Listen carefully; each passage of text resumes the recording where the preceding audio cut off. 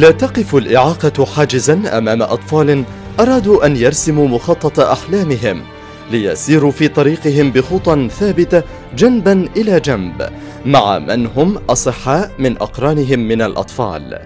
هدفهم الانتصار على إعاقتهم وإثبات الذات.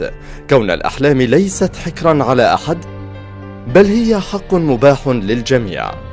كل إنسان على هذه الأرض من حقه أن يحلم سواء كان سويا أم من ذوي الإعاقة. وراشد ابن الثانية عشر من عمره واحد ممن لهم الحق في إطلاق العنان لأحلامه. راشد لديه إعاقة جسدية وصلب مفتوح وإعاقة ذهنية. كرسيه المتحرك وسيلته نحو المستقبل والعيش بكرامة. التحق راشد بمدرسة الوفاء لتنمية القدرات التابعة لمدينة الشارقة للخدمات الإنسانية فرع خورفكان منذ ثلاث سنوات. يحمل بين أضلاعه سلاح الإرادة والتصميم. يرفع شعار أن الحياة الكريمة حق للجميع. ويقول لكل من هم حوله إنني أستطيع ولا شيء يعرف المستحيل. الطالب راشد عمره 12 سنة. هو عنده إعاقة جسدية وصلب مفتوح وعنده إعاقة ذهنية.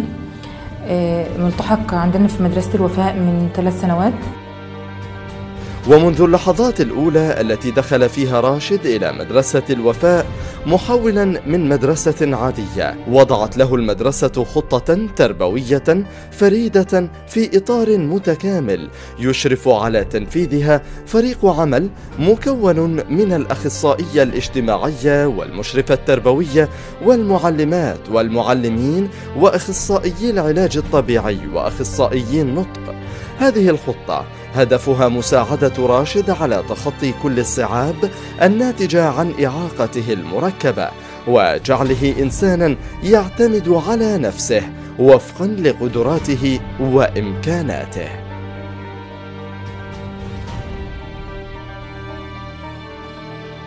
الطالب راشد جالنا في الأول محول من مدرسة عادية ولما التحق بالقسم معانا طبعا وضعنا له خطة تربوية فردية الخطة دي بتبقى بتبقى ضمن فريق عمل.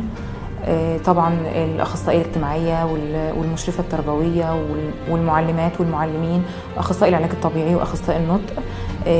واتعمل له في الخطة إن يبقى في عنده حصص علاج طبيعي وكان من ضمنها في الأسبوع مرة واحدة بيروح سباحة.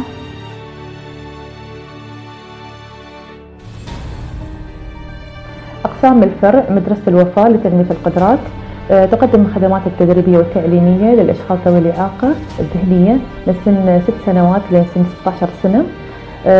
وتقدم الخدمات في هذه المدرسة خدمات العلاجية وخدمات الاستشارة خدمات الدرب الدمج التربوي التعليمي بالإضافة إلى خدمات التقييم والتشخيص والخدمة النفسية خدمات المتابعة للزيارات المنزلية للأسر خدمات الإرشاد الأسري. أيضا هناك خدمات نشر التوعية في المجتمع. بالإضافة إلى خدمات الصحية والفحص السمعي. يتمتع راشد بشخصية مميزة كما أنه إنسان اجتماعي نشيط ومبادر صاحب وجه بشوش محبوب من قبل زملائه ومعلماته ومعلميه.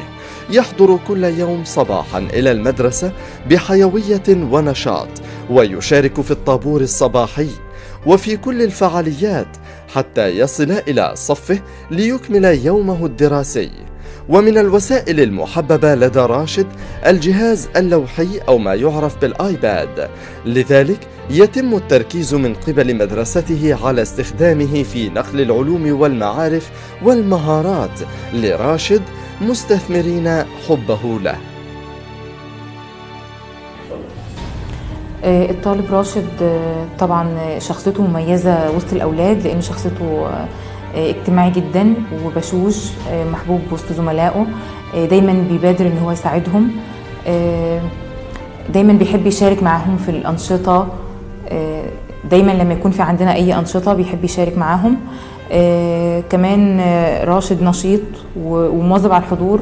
يعني تقريبا من أول الناس من أول الطلاب اللي بتحضر الصبح المدرسة.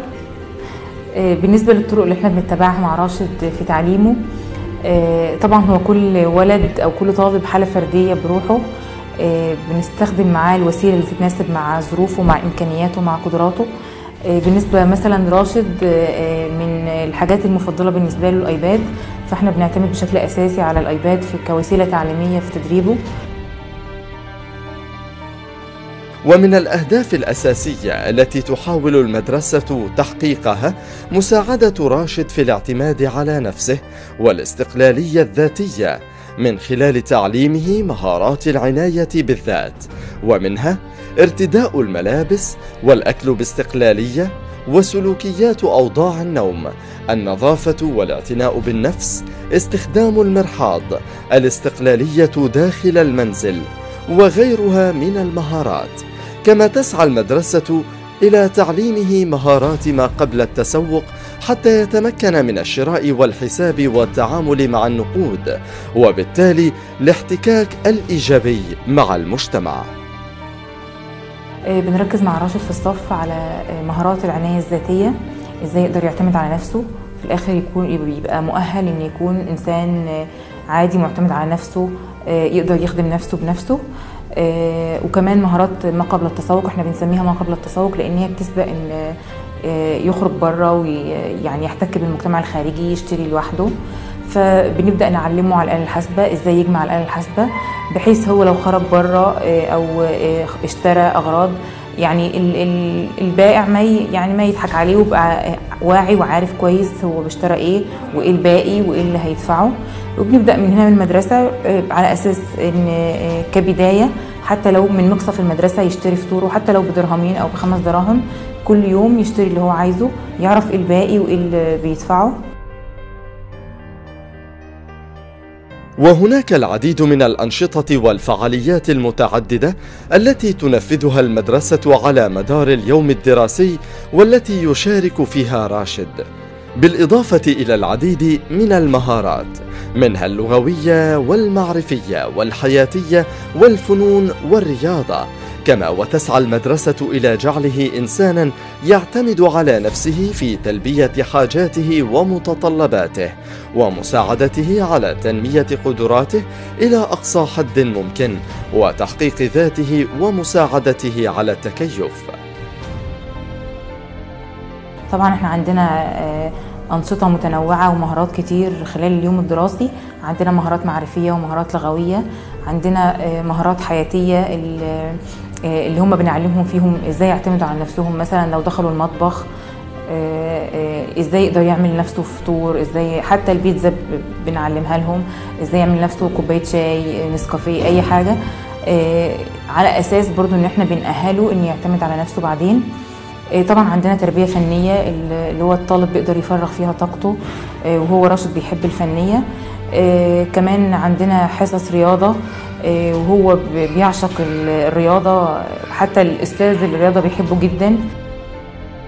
ولا يخفى على أحد الدور الضروري والمهم الذي تقوم به الأسرة تجاه ابنها المعاق.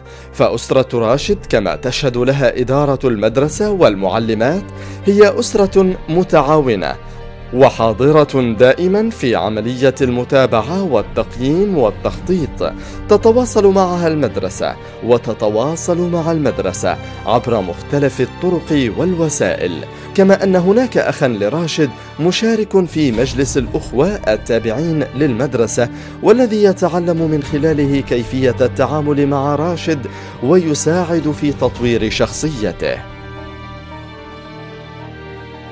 نقدر نقول من الأشياء اللي مساعدة في تطور راشد تعاون الأهل معانا. إحنا طبعا في مدرسة الوفاء بن في طرق كتير للتواصل مع الأهل منها دفتر تواصل بنبعته مرتين في الأسبوع للأهل. إيه، طبعا بن بنحكي للأم كل حاجة بت- بتحصل في المدرسة أو أي حاجة جديدة خدها وهي بتعلق هي شايفة التطور ده عندها في البيت ولا لأ. إيه، كمان على الموبايل طبعا ده أساسي وعلى الواتساب وكمان بنعمل لهم دايما مقابلات هنا طارئة أو مقابلات لما بنعمل خطط جديدة أو أي شيء طرأ على الولد آه، بنخلي الأهل يجوا من المدرسة نتناقش معاهم هو بيتصرف إزاي في البيت أو لو شفنا أي سلوكيات آه، جديدة يعني على راشد لازم طبعا بنناقش الأهل فيها.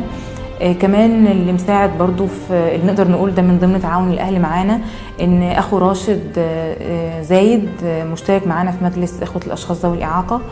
ودي حاجة مهمة جدا لأن زايد بيكون موجود دايما مع راشد في البيت آه، فمن خلال مجلس الإخوة بيبقى بنعمل محاضرات توعوية.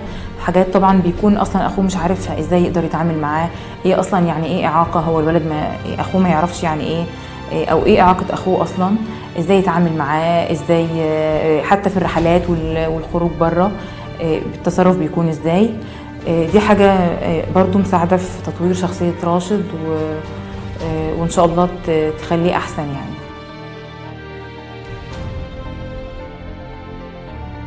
ومن أساسيات مدرسة الوفاء أنها تنظر إلى راشد على أنه طفل عادي وذلك من باب إعطائه فرصة أفضل ومناخا أكثر تناسبا لينمو نموا أكاديميا واجتماعيا ونفسيا سليما.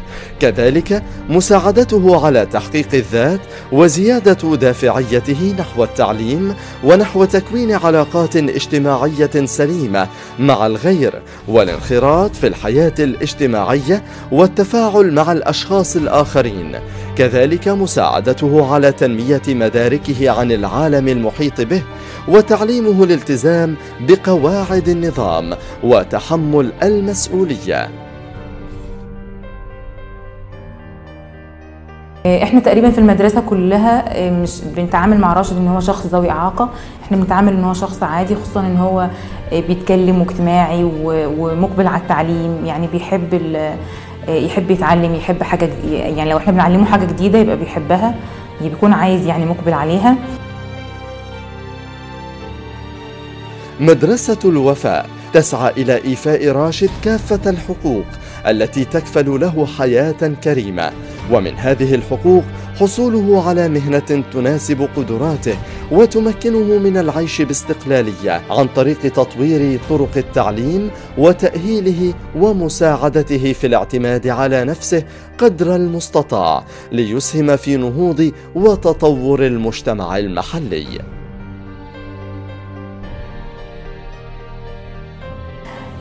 إحنا كمؤسسة لذوي الإعاقة آه، هدفنا إن إن راشد وكل الطلاب اللي عندنا آه، يتم دمجهم في المجتمع وإن يقدروا يلاقوا وظيفة تتناسب مع قدرات ال- القدرات اللي عندهم وظروف الإعاقة. آه، كمان يبقى شخص فاعل في المجتمع ومستقل. آه، مش كده وبس لأ كمان يضيف للمجتمع زيه زي أي إنسان آه، آه، مش عنده إعاقة. إن الأشخاص من ذوي الإعاقة ما تركوا فرصة إلا وأثبتوا من خلالها مقدرتهم على التميز والإبداع وإطلاق العنان لمواهبهم وقدراتهم في مختلف المجالات والميادين.